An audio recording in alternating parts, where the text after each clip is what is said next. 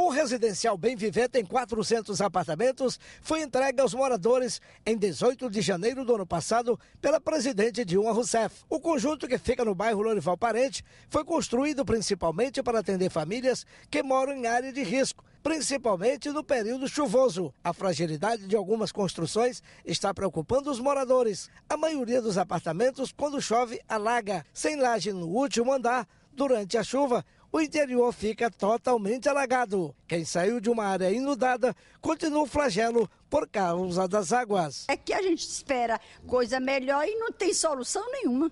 Entendeu? A gente fica aqui buscando na construtora, que todos dizem que é o responsável, a gente chega lá, explica, eles vêm ainda, faz aquele H, aí depois esquece. Não manda nenhum rapaz aqui. Desde que a gente recebeu, que chove, molha tudo, tudo.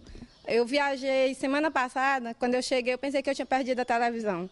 Porque quando eu olhei para cima, o teto, a água descendo, em cima da televisão, eu disse, pronto, perdi. E a gente vai na construtora, reclama, pede.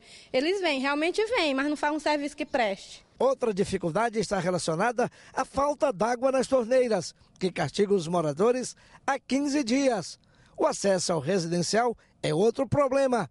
Ou seja, quem procurou um lugar seguro pode ter batido na porta errada. É água de jeito nenhum, e só a água da chuva mesmo. Sofrimento por moradores, procurei a Caixa, já procurei a construtora aqui ao lado, e nenhuma solução para os nossos moradores. É muito distante daqui para parar de ônibus, é muito distante, é muito perigoso também, é muito é vazio assim de pessoas.